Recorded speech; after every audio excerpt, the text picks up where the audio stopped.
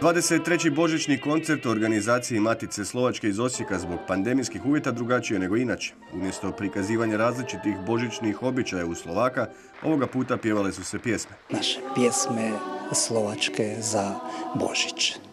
Pjesme koje ste donijeli sa sobom iz Dakle, to su naše pjesme, naše običaje za koje se pjevalo prije Božića i za vrijeme Božića i onda nakon Božića za Svetog Ivana. U Hrvatskoj živi oko 5000 Slovaka, najviše upravo u Osječko-Baranjskoj županiji, ali i Vukovarsko-Srijemskoj. U Osijeku nas, eh, koji su se prijavili, preko 250. U Matici Slovačka i Osijek imamo naše 110 članova Matice Slovenske Osijek koji surađujemo, aktivnih je više od 50.